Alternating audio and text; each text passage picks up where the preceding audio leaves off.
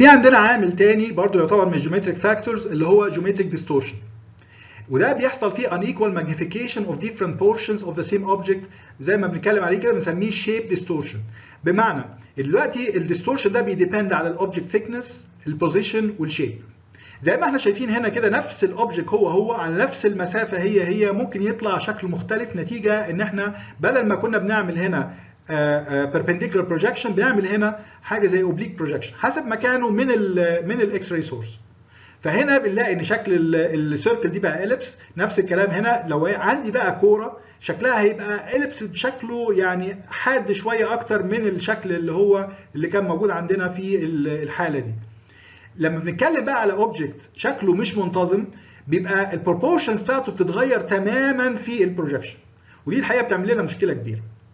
لو إحنا عندنا object بالشكل ده كده لو إحنا عملنا له rotation هنلاقي إن شكل ال object نفسه رغم إن هو نفس الطول هو هو هنلاقي إن طوله بيتغير في الصورة. وده طبعا بيبقى فيه مشكلة لأن إحنا حسب ال orientation بتاع ال object نفسه جوه الصورة ممكن حجمه يتغير. ودي تبقى مشكلة بالنسبة لنا إن إحنا ما إحناش عارفين داخل الجسم أشكال الحاجات نفسها أو ال orientation بتاعها شكله عامل إزاي. فتبقى تعمل لنا مشكلة إن إحنا لما نيجي ناخد قياسات من صورة ال X-ray ممكن يطلع عندنا مشاكل نتيجة لل rotation بالشكل ده.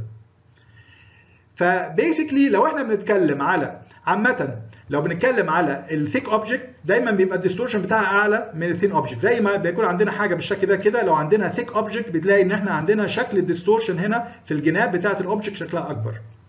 لو إحنا بنتكلم على ال object plane وال image plane are not parallel برضه بيبقى عندنا نفس المشكلة.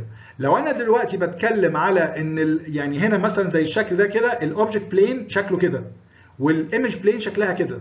ف basically حصل distortion لطول ال object نتيجة إن هما الاثنين مش parallel فطبعا بيفرق معانا طبعا إن إحنا بنعمل perpendicular projection ولا oblique projection ويفرق عندنا حجم ال object بيفرق عندنا ال orientation بتاع ال object وطبعا ال position بتاع ال object بيفرق عندنا زي ما شفناها في الجزء بتاع ال magnification factor وكل الحاجات دي الحقيقة ممكن تخلي لنا القياسات من صور الأشعة ممكن يطلع فيها أخطاء نتيجة لكده.